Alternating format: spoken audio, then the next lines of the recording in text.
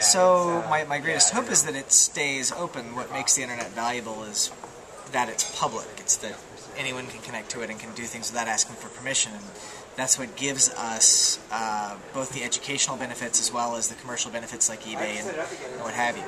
If uh, if everyone had to ask permission before they started a company or before they started an educational website or before they started putting educational videos on the internet like this, um, it would it would be unlikely that we would have the sort of explosion of creativity that, that we've had. So my greatest hope is that we don't forget the lessons of the open infrastructure that got us here.